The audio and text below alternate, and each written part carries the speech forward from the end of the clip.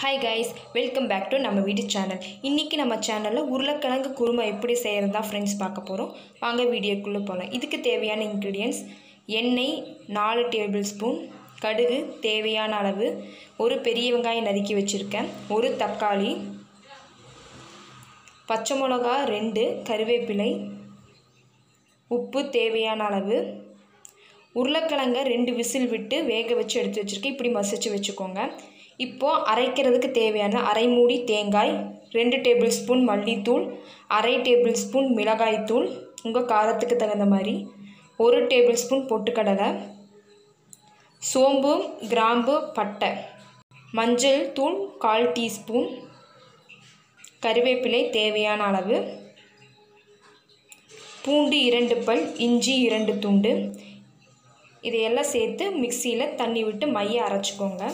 இப்போது கடாயில் நாலு டேபிள் ஸ்பூன் எண்ணெய் ஊற்றி கடுகு போட்டு கடுகு நல்லா பொரிஞ்ச உடனே நம்ம எடுத்து வச்சுருக்கிற கருவேப்பிலையும் அரிஞ்சு வச்சுருக்கிற பச்சை மிளகாயும் போட்டுக்கலாம். இது நல்லா பொரியட்டும் ஃப்ரெண்ட்ஸ்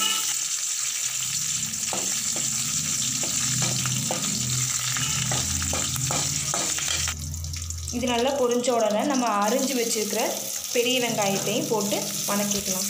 வெங்காயம் ஓரளவுக்கு வதங்கி வரணும் ஸோ வெயிட் பண்ணலாம்.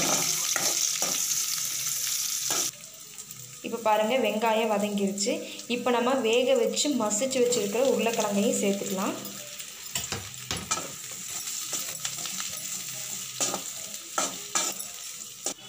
இப்போது தேவையான அளவு உப்பை சேர்த்துக்கலாம்.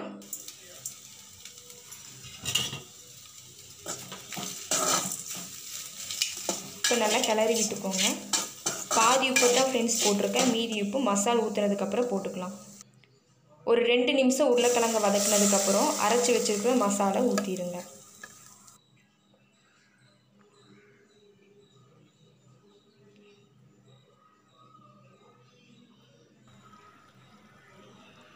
எந்த அளவுக்கு உங்களுக்கு மசால் வேணுமோ அந்த அளவுக்கு தண்ணி ஆட் பண்ணிக்கோங்க.